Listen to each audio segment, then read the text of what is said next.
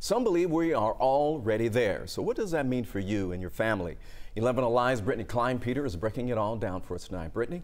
That's right. The experts I've been speaking with told me last month that they believed Atlanta was already seeing the impacts of a mild recession, but they tell me hearing the country may be officially in one would not be a shock.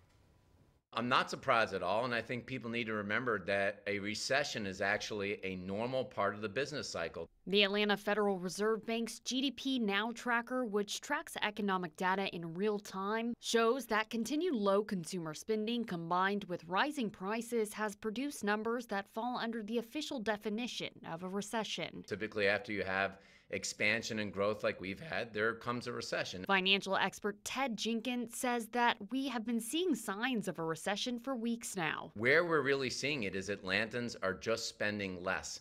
And when people start to save a little bit more and they spend a little bit less, that's where you see part of the front ends of recession. According to the most recent data from the Department of Labor, we've had historic unemployment lows in Georgia. But in the last several weeks, massive layoffs have been trickling in, including from real estate companies like Redfin and Compass, who said they will be cutting 10% of all staff. This is the first time in 15 years that it's actually been more expensive to own a home than rent. It's not a real estate crash, but you're just seeing a cooling off the market. Jenkins believes that if this is a recession, the impacts will be modest but could last longer than what we previously experienced in 1990 and 2001. He also says that the unemployment rate could climb significantly over the next year. The people that should be concerned the most are people that are newer to their jobs, like you recently got hired, or people that are in those hourly wage type jobs because what jobs go first?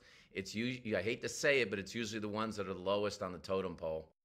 Now, the National Bureau of Economic Research is the only group who can officially determine if we're truly in a recession. Historically, they usually declare it once we are well into a slump or even afterwards. Ahead at 6, I'll have more on what Georgians can do right now to financially protect their family. All right, Brittany, we will see you then. Right